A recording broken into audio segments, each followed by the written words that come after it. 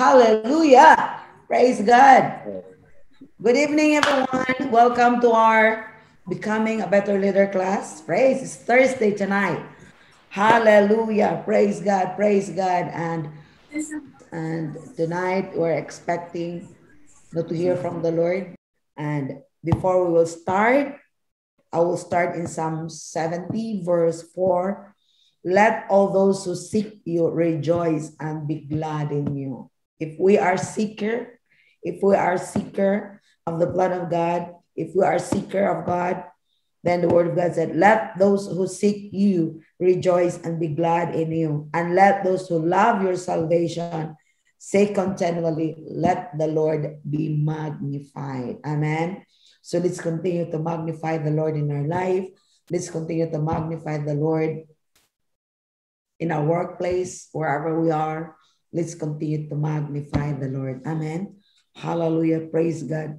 The more we'll continue to magnify the Lord, the more He's become bigger and bigger and bigger in our life. Amen. So praise God. Hallelujah. God loves us so much.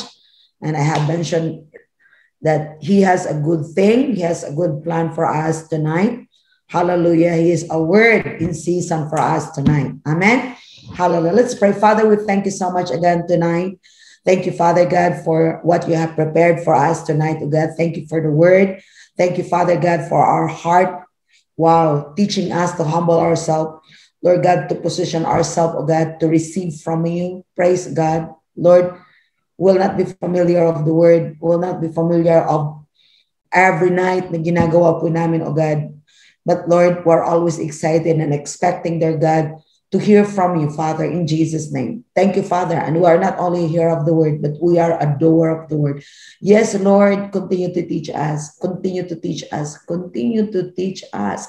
God, you said in your word, those who are humble, oh God, you will teach. Those who are humble, oh God, will hear. So, Father, we thank you. We are humble. We humble ourselves. We choose, we decide to humble ourselves before you in the name of Jesus. And everything, receive everything, receive everything, dear God what you want us to hear tonight, what you want us to see tonight in the name of Jesus. Thank you, God, that we have all the capacity to hear. Thank you, Father God, that we are all anointed. We are all anointed to hear and act on the word in the name of Jesus. We are all blessed. And Lord, we thank you once again for the increase of wisdom, increase of revelation in the knowledge of the truth, increase of our spiritual understanding, increase of the light. Hallelujah, in Jesus' name.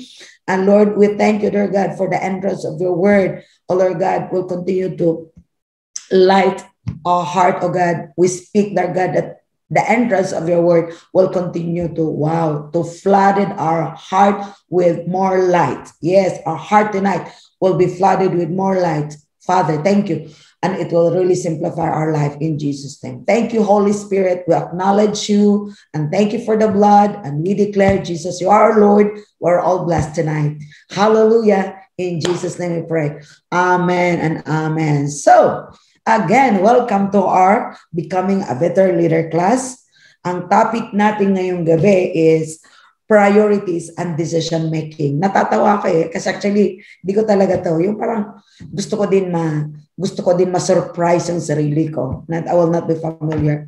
Kaya bago ko, nung nireview ko ngayon siya, sabi ko, oh, tamang-tama. Ito yung mga, ito yung mga tinatanong ni Ma'am Ella kagabi at ito din yun ang topic natin, no? Priorities and decision making. Praise God. You are talagang, you are in the right place, Sister Ella. You are in the, Ma'am Ella, you are in the right place. Wow. With the right people doing the right thing in the right time. Praise God. So making the most of your time. Amen. We need to learn to prioritize, know our priority, and making decision. Kasi totoo yun. If we don't know what is our priority, it's very difficult to make as a decision. Tapos kagabi, di ba? Parang connection dun sa topic natin kagabi na the more we are in the light, the more it's easier for us to make a decision. Kaya hindi talaga siya automatically done. Talagang napakabuti ng Panginoon na lagi niya tayong tinuturuan kung ano talaga yung mabuti. No? Because mayroon siyang plano nga sa ating mga boy boss. Meron nga siyang plano sa ating mga buhay at nais ng Panginoon talaga na ma-enjoy natin yun. Magmamanifest yung plano niya sa atin. Sa Psalms 23 verse 24, Hallelujah. Ano? Mateo 23, Psalms. Mateo 23. Praise the Lord. Ganun talaga ng Panginoon. God is so faithful. Talagang, talagang grabe yung love ni God sa atin. Na hindi niya talaga tayo hayaan na maliligaw. Hindi tayo hayaan na, na magkawindang-windang. Hindi niya tayo hayaan na mahirapan. No? Talagang He always give us the word. He always, kumbaga, i-rescue niya tayo lagi. Igagay niya talaga tayo. Sa Mark, Matthew 23, 24, blind guides who strains out a gnat and swallow a camel. So mahirap nga talaga no na ang mag-guide din sa atin ay blind. No, kung blind ang mag-guide sa atin, talagang laglag talaga tayong lahat. So mistaken priorities lie at the heart of ineffective leadership. Mistaken priorities lie at the heart of ineffective leadership. Kaya pag ang ating leadership is hindi effective, what will happen? Magkaroon ng mistaken priorities. Kaya pag magkaroon ng mistaken priorities, what will happen? Less production. No, less production. Talagang wala. Sayang na magkaroon lang tayo ng waste of time. So Jesus scolded the Pharisee in Matthew 23:24. And for confusing what was and wasn't important, no? kino-confuse nila yung mga Pharisee what is important and what is not important. Their priorities were enforcing laws and rules. Yun yun, di ba? Yung mga Pariseo, no? Yun yung mga religious, no? Mga religious people, they are enforcing the law and rules, no? We're not we're not building religion. Ayaw ng Panginoon ng religion kasi pag pag religiosity kasi ang gagawin ko natin, ang enforce talaga natin is yung rules, yung laws, di yun, no? Christian, Christ's priorities were the spiritual need of others. No, ito yung ito yung priority ni Jesus, no? Spiritual needs of others. And great leaders know the heart of their people. Great leader know the heart of their people and act with the end in mind.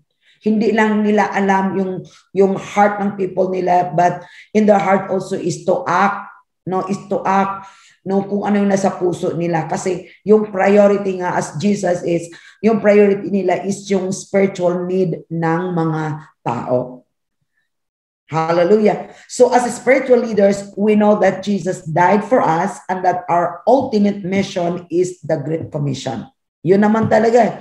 No, kung bakit bakit tayo bakit si Jesus Christ naparito at bumalik doon sa langit, no? And he give us the authority because of the Great Commission. Now, he want the will of God that everyone will be saved. We also know that the Bible rarely gives us the step-by-step instruction for a given task.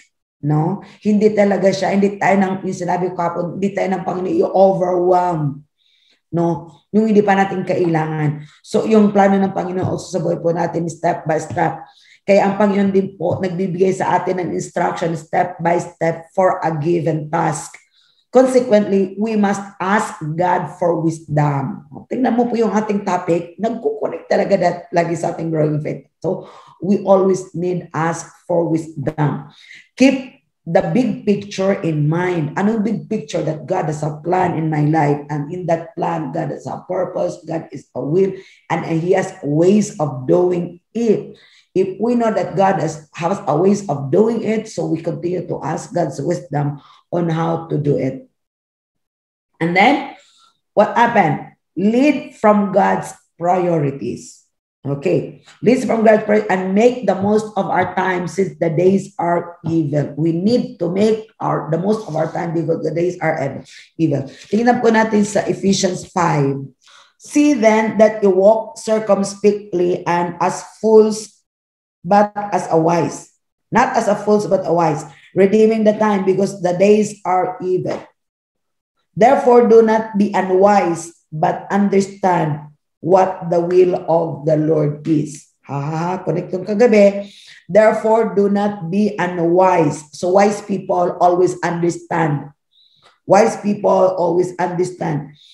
Therefore, do not be unwise, but understand that the will what the will of the Lord is. No? If we know the Lord, if we want to know the will of God, we will know.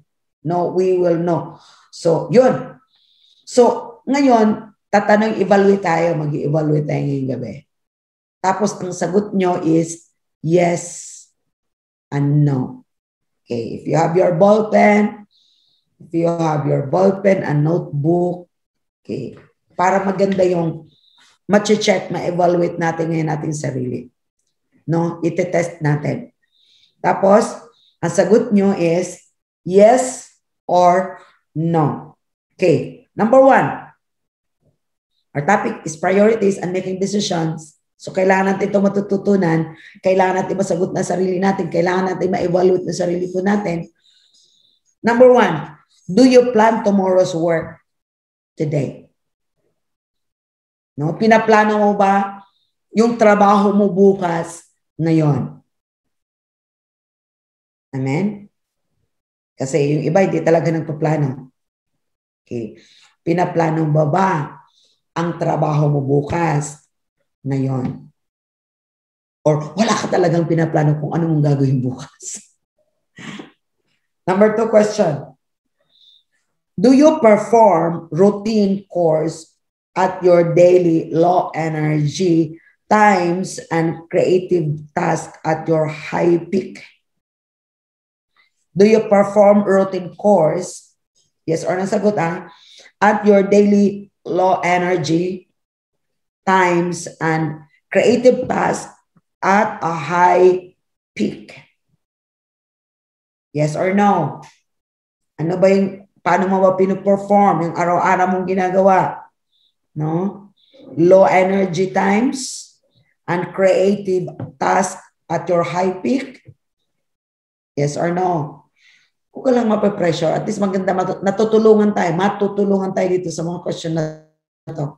At makikita natin ngayon kung ano yung dapat natin i-adjust, ano yung dapat natin i-develop. Number three, do you get unpleasant duties out of the way as soon as possible? Yes or no?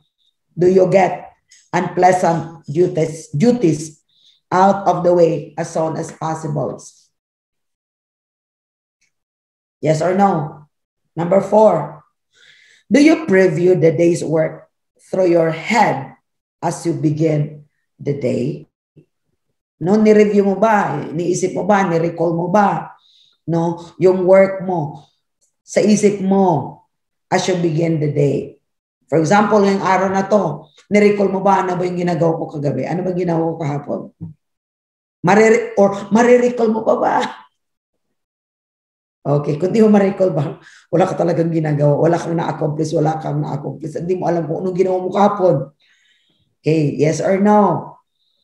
Eh, naantuwa ako kasi makakatulong talaga to sa atin.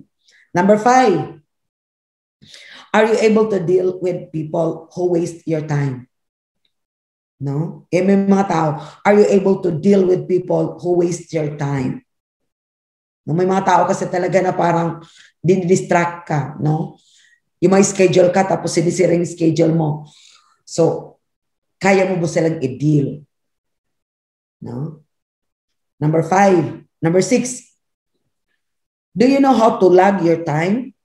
That is occasionally write down just how long it takes to accomplish its day's task? Meron ka bang to-do list?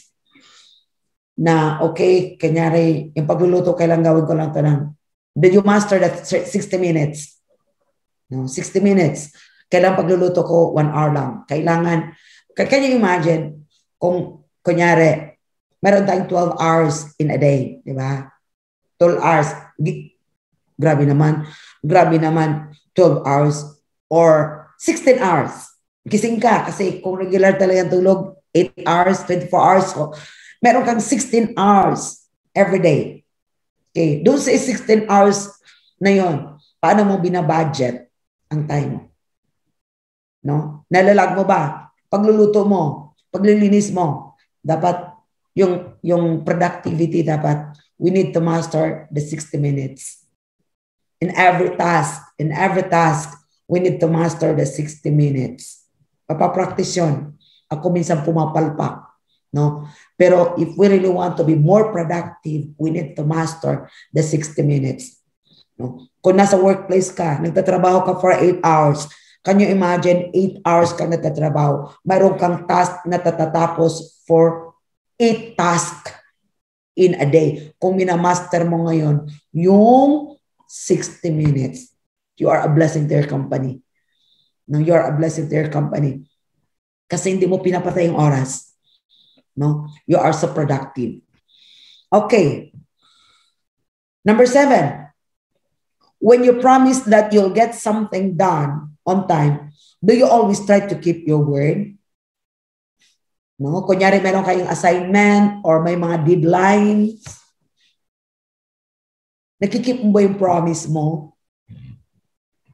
Or may mga may mga yeah, may mga deadlines, may mga submission kung nagtatrabaho, estudyante, No? Nakikip mo ba yung promise mo? When you, you when you promise that you'll get something done on time, do you always try to keep your words? Number eight, do you set aside portion of each day to think, create, and plan? Do you set aside a portion of each day? Meron talaga pala, no? To think, create, and plan. Yes or no? Kaya marami tayong i-repair. Number nine, is your workplace tidy? Can you find what you need without wasting time? Praise God. Is your workplace tidy? Amen? Makikita mo ba kaya pagpikit mga to, alam mo kung saan mo siya nilalagay. O kaya naubos na yung oras mo, hindi makikita yung roller kung saan mo nilalagay. Yes or no? Number 10, do you have an efficient filing or organization system? Or, yeah, do you have efficient filing or organization system? Naka-organize ka ba?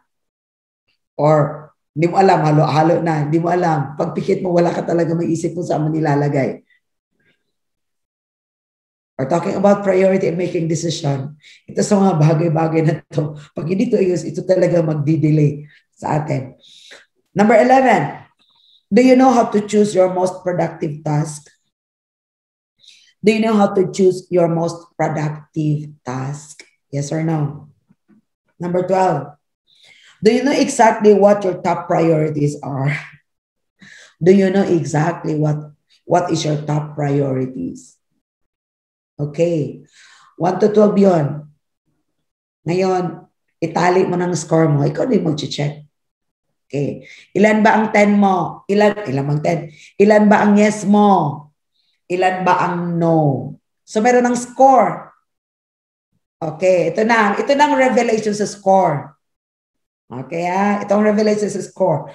Pag ang yes mo is 10 to 12, you handle your time excellently.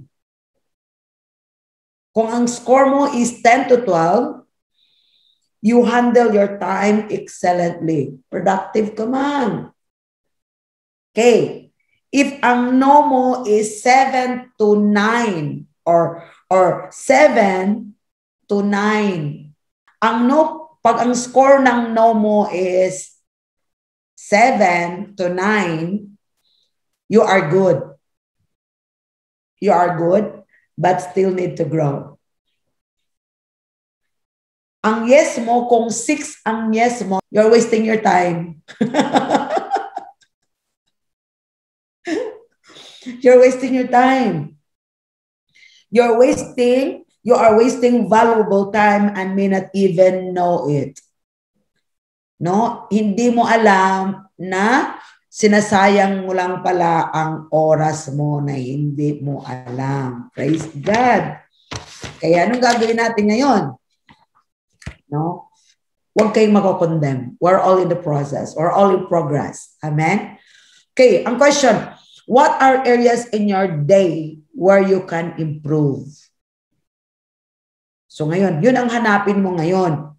No, based doon sa score mo, ngayon, tanungin mo sarili mo, ano ba yung area in your day where you can improve? So it's good na nakikita natin ngayon, din yun ngayon ang i-work po natin. Ano ba yung area na to? So you need to adjust. No, kasi kung score natin is 6, no, we're wasting our time na hindi natin alam. Sayang naman. Sayang naman yung mga panahon na yung oras na yon. Okay, tingnan po natin yung biblical priorities. Answer on priorities. Okay, may mga kita dito. What was Jesus' priority? Okay. Para makita natin sarili po natin. Sa Mark 1, tingnan po natin sa Mark 1. Now in the morning, having raised, risen a long while before daylight, he went out and departed to a solitary place, and there he prayed. And Simon and those who were with him searched for him. When they found him, they said to him, Everyone is looking for you. But he said to them, Let us go into the next town, that I may preach there also because of this purpose I have come forth. So God, Jesus Christ knows his priority. Ano priority ni Jesus? He prayed. Madaling araw pa lang, nananalangin na siya. Pagkatapos, after niya mananalangin, tingnan mo, hindi siya distracted. Alam niya kung anong gagawin niya. Alam niya anong priority. Kahit naman ang mga taong lumalapit sa kanya, pero sinabi niya, mayroong mga taong naghanap sa kanya, pero sinabi niya, let us go into the next town that I may preach there also because for this purpose I have come from. So Jesus is a purpose-driven. No? He's purpose-driven. Ito yung purpose ni God sa akin. Kung dito tayo. So hindi siya na-interrupt doon sa need ang kanyang tinitingnan lagi ano yung kanyang assignment, ano yung purpose niya. Pero tingnan po natin, saan niya nakukuha yon? Number one priority niya talaga yung relationship, yung fellowshipping with God. Amen? Kaya kaga, yung mga previous topic natin, the more we come closer to God, the more we will, the light, no? Everything will become bright. At makikita natin ngayon, no? Kaya makakatulong talaga yan sa paggawa ng desisyon. And what is the Christian's priority? Ano ba naman ang priority ng mga Christians? Tingnan natin sa Luke 10, 39. Luke 10, 39 to 42. And she, and, and she had a sister called Mary who also sat at Jesus' feet and heard his word. But Martha was distracted with much serving and, and she approached him and said, Lord, do you not care that my sister has left me to serve alone. Therefore, tell her to help me. And Jesus answered and said to her, Martha, Martha, you are worried and troubled about many things, but one thing is needed. And Mary has chosen that good part which will not be taken away from her. So ano dapat ang priority din natin as a Christian? To fellowship with God. To listen and fellowship with God. Hindi talaga, hindi talaga nagsiserve, pero hindi talaga aligaga. The Lord want us to listen, to sit down before we do the things. Amen? There's a hearing first. There's a sitting down, a hearing, instruction, bago gagawa. So yun yung dapat priority po natin. Okay, what is the priority of church leaders? sa mga church leaders naman sa Acts 6 verses 2 to 4. So the 12 gathered all the disciples together and said, It would not be right for us to neglect the ministry of the word of God in order to wait on to wait on tables tables. Brothers, choose seven men from among you who are known to be full of the spirit and wisdom. We will turn this responsibility over them and will give and will give our give our attention to prayer and the ministry of the word. So spiritual leadership, ano naman yung priority? Is to pray and the word. Prayer and the word. Okay? Prayer and the ministry of the word. What about distractions and hindrances? So nakita na po natin ang priority ni Jesus, prayer, and then purpose, preach, and then ang Christian priority dapat is like Mary sat down listening to Jesus. And then the leadership's priority is prayer and the ministry of the Word of God. Okay, Hebrew 12, anong kailangan natin? No, kanina na-evaluate mo po natin yung, yung exam, na exam sarili po natin. So, ang lahat ng distraction talaga na maghihinder sa atin no, na makuha natin, magawa natin yung priority na yun. Sinabi sa Hebrew 12.1 talaga, let us throw off everything that hinders and the sin that so easily entangles us and let us run with endurance the particular race that is set before us, fixing our eyes on Jesus. Mayroon talagang laying aside. No, ano man yung magdi-distract sa atin doon sa mga priority na alam mo, yun yung pinapagawa ni God. We need to make a quality decision. Kaya minsan it's good to always ask God, no? Yung yung yung talaga, yung meditation talaga. Tapos tanungin na, ito bang ginagawa ko? Tama ba to? Pinapagawa to Panginoon or or trap to para hindi ko talaga magawa yung pinaka-priority. Amen? Kasi si Satan is deceiver. Yung heart natin talaga to help, but sometimes yung heart po natin gusto natin gagawin, yung pala, hindi natin talaga na maximize na priority yung gusto ni God na gagawin. And along the way, makikita natin na trap na pala kasi priority hindi na natin nagagawa. Kaya kaya hindi ano talaga kailangan talaga lagi talaga ng consecration. Kailangan talaga ng consecration. Okay. How does our purpose help us with our priorities? Kung alam natin yung purpose natin, paano siya ngayon makakatulong sa ating mga priorities? Sa 1 Corinthians 9, 24 to 27, Do you not know that in the race, in a race, all run, all the runners run, but only one gets the prize? Run in such a way as to get the prize. Everyone who competes in the games goes into strict training. They do it to get a crown that will not last but we do it to get a crown that will last forever.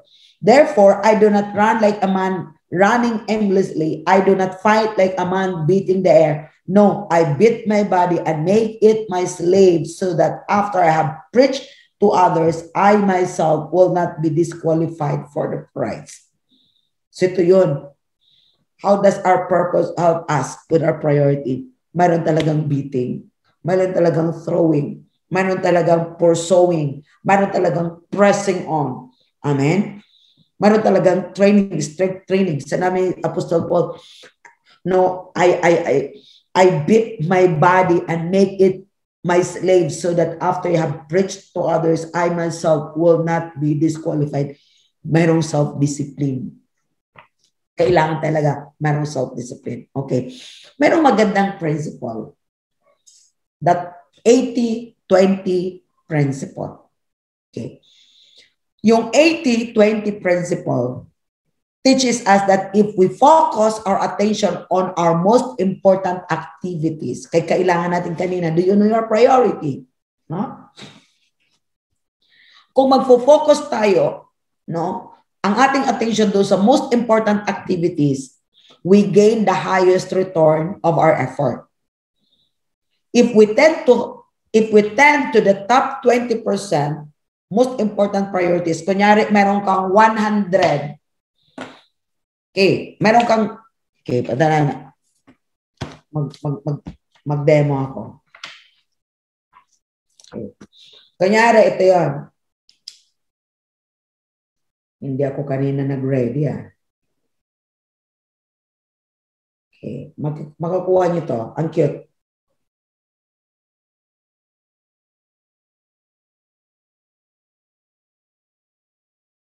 Ayan. Ay, hindi makita. Kunyari ito 100%, ito. Ito 20. Ito 80.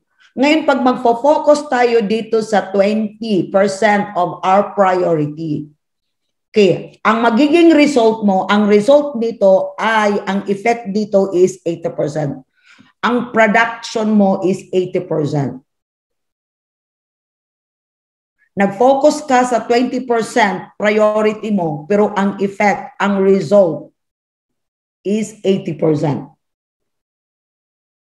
Tanda mo yung, yung testimony mo, Sister Nelda, nasabi mo magpe-pray ka, pero madami kang gagawin, maglalaba ka, dapat maglalaba ka, pero sinabi ng Holy Spirit sa iyo na magpe-pray ka ng 2 o'clock, tapos anong ginawa mo? Sinusunod mo yung priority prayer, pero tingnan mo nagawa mo, nakapaglaba ka, nakapaglinis ka, hindi ka napapagod, nakapagluto ka, pagkatas. Because you make the most important the priority you work out the priority the 20% then look the result. Pero kung unahin mo ang 80% the result is 20 less. Kaya yun yung 6 that you're just wasting your time. No? Na hindi mo alam na nagwe-waste ka na pala ng time the 80% was ito ka nag, nag ano parang busy ka pero yung nangyari pala, nangyayari pala, wala. Pero pag alam natin yung priority natin, yung result talaga ng trabaho mo, kumbaga yung production mo is 80%. Eh ngayon, kung hindi mo alam yung priority mo, ano tatrabuhin mo? Kaya dapat alam talaga natin kung ano ba talaga yung priority po natin. Amen? Kasi sinabi niya, we will accomplish 80% of the result we desire. Okay. At dami mong, meron nga akong naririnig eh, uh, uh, the more you have many activities to do, the more you spend time with in prayer. Kasi doon sa pray ngayon, mafi-filter kasi yun eh. Mafi-filter kasi talaga yun. No, yung mga, yung mga trabaho mo ngayon. Yung priority talaga yung magawa and then nagko-cover yun doon sa pinakamahal. Kasi yung mga yung mga less priority na filter, yung pinaka nagawa mo talaga yung priority na yun. Kaya yung production, yung result, mas marami siyang na-accomplish. Amen? Sinabi dito, no, the principle can be applied to everyday life, enable you to lead more effectively. Okay, accomplishing your first two priorities no, will give you 80% of your desired result. Two priorities lang or 20%, two priorities lang sa araw na yun will give you the 80% of the desired result. This occurs because you have made the least in order for a priority. Many of the lower ones are much less fruitful for the kingdom of God because they don't know their priorities and they don't know how to focus on it. Okay, pag alam natin ang priority po natin and we set 100% focus on it, then nagko-cover yon ng 80% doon sa desired result mo. Diba? Kaya nga, yung light talaga, yung kaya yung plan ng Panginoon talaga is really simplified kasi hindi siya magko-complicate kasi tuturuan ka ng Panginoon kung anong priority tapos ginagawa niyon with this wisdom, kaya yung desired result na gusto mo, mangyayari siya. So if you embrace the wrong priorities, this principle will work against you. 80% of your effort will gain you 20% of the result and the fruit you desire. Kaya nakakapagod. Amen? Ang sinabi sa Psalms 90 verse 12, Teach us to number our days aright that we may gain a heart of wisdom. Amen. Kay araw-araw, Lord, continue to show me, Lord, Lord, what do you want me to do, Lord? What do you want me to do? Kasi focus tayo sa pinapagawa ng Panginoon and then it give us the 20%, the 80% result that we desire. Di ba? Pag nangyari, ang kunti mo lang ng ginawa, pero pala yung effect pala na yon, napakalaki na pala yung effect yung production mo. Pero feeling mo, kunti lang ang ginawa mo. Bakit? Kasi ginawa mo yung pinaka-priority at nagpo-focus ka dun sa pinaka-priority, kayo yung desired result na gusto mo nangyayari. Compare doon sa hindi mo alam yung priority mo, hindi mo focus ang priority mo, dami-dami mong ginagawa, yung pala 20% lang yung nagiging result. Amen? Okay. Example, for 80, 20 principle, sa time. Okay. 20% of our time produces 80% of result. 20% of time produces 80% of result. So how you manage your time, how you prioritize your time, it will give you 80% result. Sa counseling, 20% of the people take up 80% of our time. 20% of the people take up 80% of our time. Kunyari, no, dalawang tao lang napapakonsult sa iyo, 80% na ng time mo nakukuha. Sa trabaho, 20% of our effort gives us 80% of our satisfaction. Kasi bakit? Nagfo-focus ka doon sa 20% na priority kay nagbibigay siya ng 80% satisfaction sa ginagawa mo. Kaya pagka umaga, yun yung sinabi kanina, mayroon ka pang mababalikan ng ginawa kahapon meron kang na-evaluate because you are satisfied. 80% you are satisfied of what you did yesterday. Ministry. 20% of the ministries provide 80% of the fruit. Kaya even in the ministry, we should know our assignment. Ano bang pinapagawa ni God for us in this season? Amen? Kasi magre-resulta ngayon ng 20% production. Napansin niyo po, si God is fruit-minded. He want fruit in everything. He want result. He is a result-minded. Leadership. 20% of people make 80% of the decision. 20% of the people make 80% of the decision. Worker. 20% of the members do 20% of the member do 80% of the ministry. Kahit 20% lang nagtatrabaho, pero yung result, 80% of the ministry. Mentoring. 20% of the influencers are where you should invest in your time. So ito yung mga example. Pag nagfo-focus tayo doon sa 20% na yon, that is your priority. Expect the 80% result and satisfaction. Kaya hindi ito padamihan, hindi padamihan. Hindi paramihan. I mean, knowing your priorities and making decision. Okay, lesson to learn. Okay, dito tayo, listen to learn. From 80 to 20 principle. Dalain ko na makukuha natin to. Unti-unti na tayo ngayon. Ay, dito, dito, dito, dito, dito.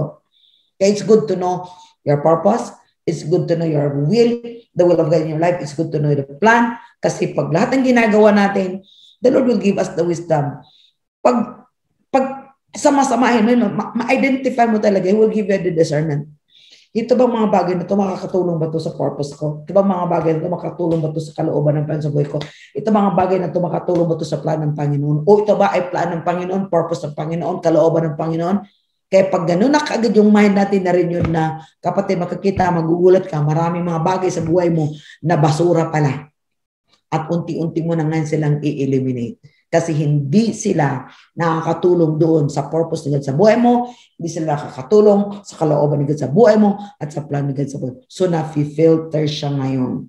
Ngayon, ano na ngayon ang daladala mo? Oh, yun ang priority, ang kalooban ni God sa buhay mo. Okay, listen to learn. Activity does not equal accomplishment. Yung activity, hindi yun equal sa accomplishment. It doesn't mean na mayroon kang activity, mayroon kang accomplishment. Hindi. Does not, does not equal accomplishment. Your goal should not be to simplify or simply stay busy. Our goal is not to be to simply stay busy. Look for the wisest people and places to invest your time. Look for the wisest people and places to invest your time.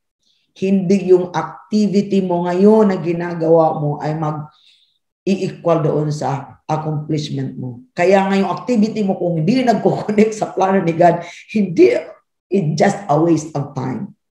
Amen? So it's good to invest with the wise people, mga tao na nakikita mo na nagko-connect doon, no? Kumbaga, the same heart, the same goal. Doon ka, no? Mag-a-accelerate ka talaga. Okay? What else? Work smarter, not harder. Hindi ka lang work, work, work, work. Work smarter, not harder. Working smarter means working on what you can do and delegating on things others can do. What good is to work extremely hard when it accomplishes little. Dami mong ginagawa, pero yung na-accomplish mo, maliit lang. Amen? Work smarter, not harder. Guys, sa loob ng bahay, okay, sakto lang sa loob ng bahay, the leader, meron kayong mga anak, if you are wise parents, no, don't work so harder. Meron kang mga anak, i-delegate mo yung mga trabaho doon sa loob ng tahanan. No? Working smarter means working on what you can do. Delegating on things others can do. Yung kaya nang gagawin ng iba, i-delegate mo na. Kaya naman nila maghugas ng plato, maglaba, i-delegate. Don't do it. Gawin mo lang kung anong kaya mong gawin. Amen? This is the example of 80 and 20% principles. Amen? Huwag kayong manghinayang sa sabon kung sayang-sayangan nila yon. At least matututo sila. Huwag kayong manghinayang sa tubig Amen? Pasaingin nyo sila, lahat-lahat, kung alam nilang kaya na. Yung di nila kaya, yun, kaya ginawa ko sa inyo, di ba? Eh ngayon, alangan ako pang mag-evangelize, ako pang mamanalangin, ako pa lahat. Hindi na. Anong gagawin nyo? Kayo na. O di, iba nang ginagawa ko. Kaya, yung hindi nyo kaya gagawin, yun ang ginagawa ko. Pero kaya nyo gawin, kayo nang gagawa. Amen? Yun yun, magpuproduce tayo ng marami. Ano pa? Organize or agonize. organize or agonize. If you can learn to organize, then we can become more efficient in getting things done. Organize. This in turn will save us a lot of time and frustration. Di ba yung lagi kong sinasabi sa inyo, di ko lang ginagawa yung pag-check sa mga bahay nyo, pag-check sa mga drawer nyo. Ba? Ano bang kalagayan ngayon ng mga drawers nyo? Ano bang kalagayan ngayon? Lagayan ng underwear nyo? Lagayan ng medyas nyo? Lagayan ng mga damit nyo? Yun nga lang. Kapatid, kung hindi mo makikita kaagad yung gusto mong isuot, ikaw ang may problema. Agonizing talaga. Di ba? So, we need to organize. Hindi naman perfect. Pero pag pikit mo ng mata mo, alam mo kung saan mo nilalagay yon. Na hindi you're not wasting your time na maghanap. Kailangan yon. Amen? Yung po yung example ng 80 to 20. So kung matututo tayo noon, then more productive na po tayo. Then number four, evaluate or stagnate. I-evaluate mo or mag-stagnant ka. So determining where we stand in relation to your goal is very important. Ano na ba ngayon? Ano na ba yung standing mo? Ano na ba yung goal mo ngayon? No? Saan ka na ba ngayon? Ano bang nangyari sa iyo? To move to the next level of leadership, we must evaluate our current situation. We need to evaluate.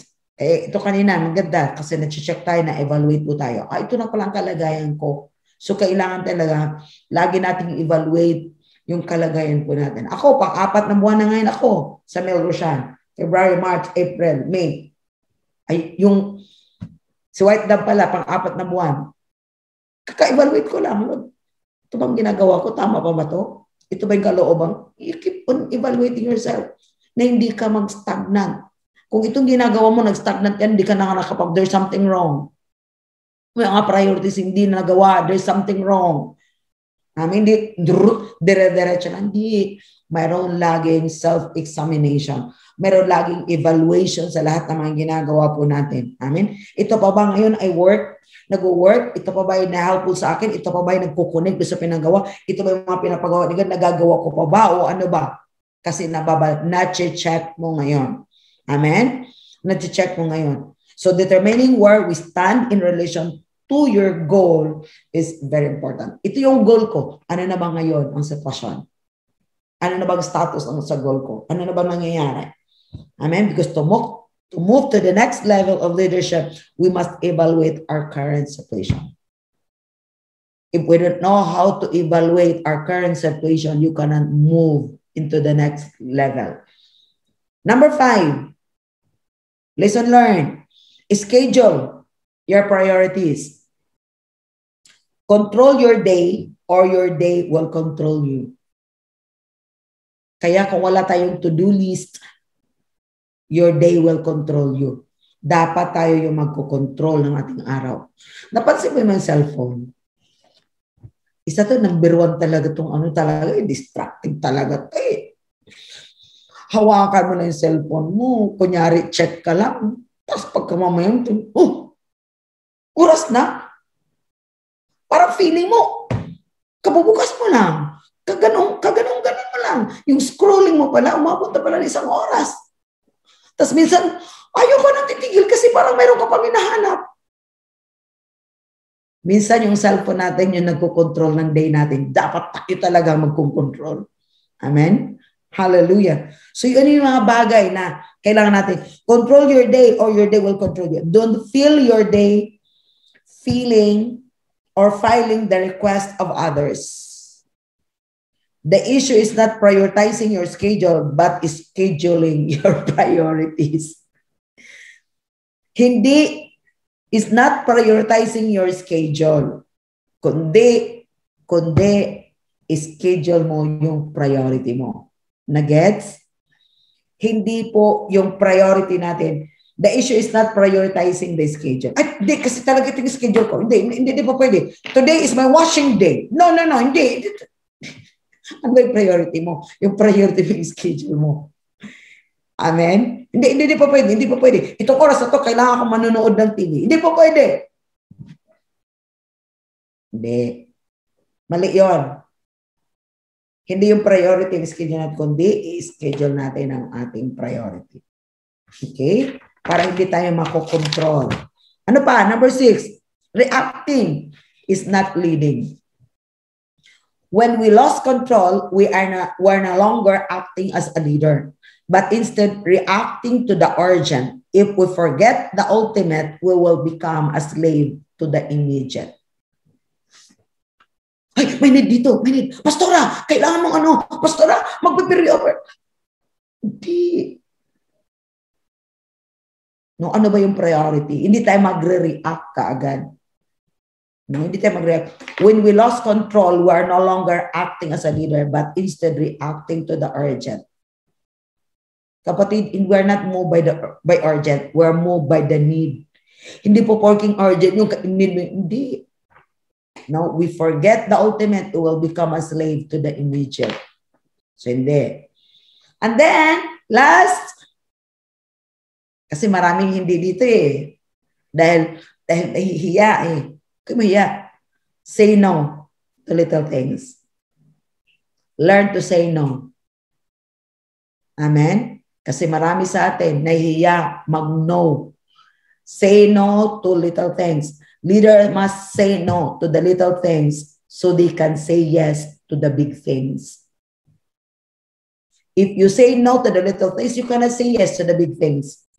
If someone else can do it, then delegate it.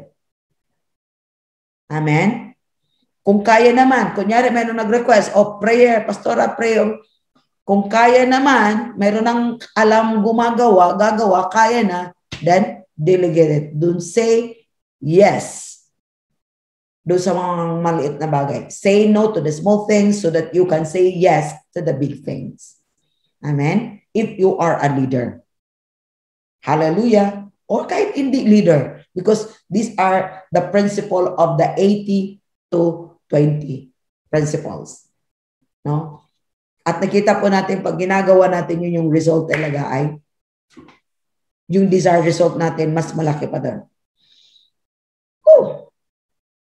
How to say no to how to, say no? no? Paano mo say no? When we know who we are, what our gifts are, and what our calling is it's much easier to determine the yes and no in life. Kung alam mo kung sino ka, anong mayroong gift mo, anong calling mo, mas madali ka lang magsasabing oo o hindi. When a task would not further your goal, you need to just say no. The way you say no is just as important as deciding to say it. It's a decision. No. Kasi hindi yun nagko-connect doon. Kaya alam mo, may discernment talaga. Nabibigay. Tuturuan ka talaga ng Panginoon. Say no to the idea, not to the person. Okay, how to say no? Hindi doon sa tao, but to idea, to the idea. Make sure the person understand that you are not rejecting them. You're simply saying no to what they want to do. Give their idea affirmation, but explain that it doesn't fit in with the things that you need to accomplish. Amen? Huwag tayo magiging men pleaser. Kaya pag hindi mo alam yung purpose mo, yung goal mo, may possibility talaga na lahat ng tao, yes ka lahat na hindi mo na ngayon nakikita na yun ang parang importante na kailangan mong gagawin.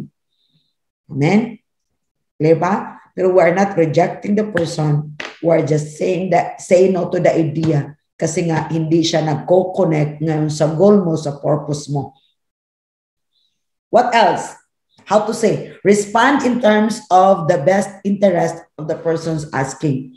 Make sure that person knows that you're not just choosing the easy response, but that you want to genuinely help them. Communicate that your time constraints would actually prevent you from doing the kind of work they deserve. For example, okay, uh, mayroong mag-invite sa'yo. Ngayon, kung nakikita mo yung invitation na yon, hindi nagko-connect doon sa plano, sa goal mo, we will see if it is the will of God. Amen. Or I will just pray for it. If it is the will of God, then we will do it. But if not, we will not do it. Tough siya, pero kung talaga, yung sinabi ko nga, priority and making decision. Kasi your choice today will determine your tomorrow. Your decision today will determine your tomorrow. If you choose right today, make a decision right today, then your future will be Right? Amen? Our today is the result of what our decision yesterday is.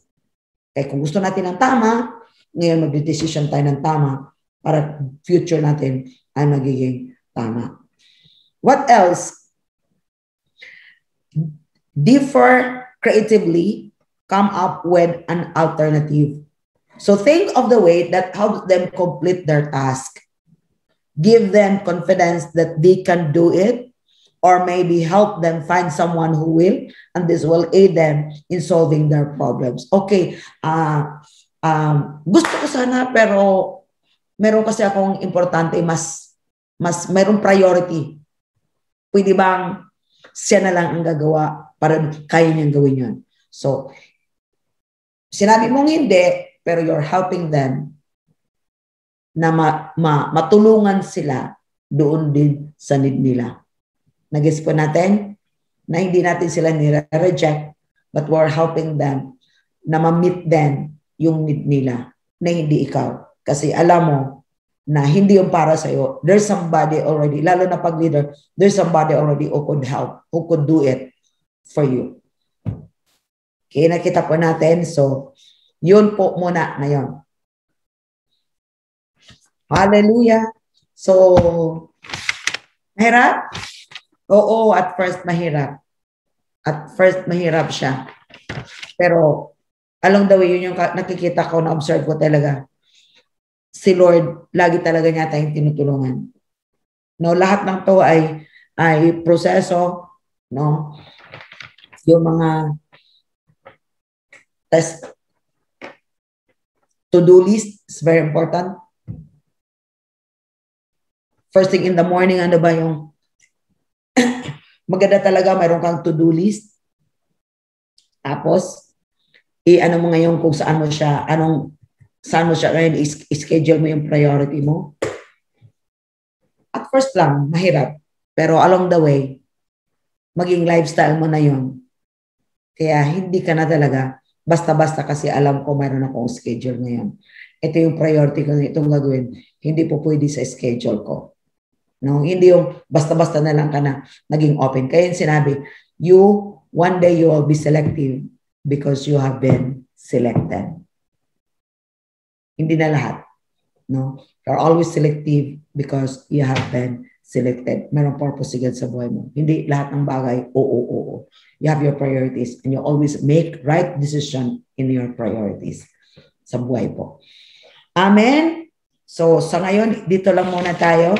Medyo, balikan nyo lang po yung mga, mga narinig nyo kaninang evaluation. Tapos, ito yung tip. Learn to plan. Okay, bukas anong gagawin ko? Okay, bukas itong gagawin ko, bukas itong gagawin ko. Paano ko siya gagawin? Ah, okay. Kaya may planning talaga.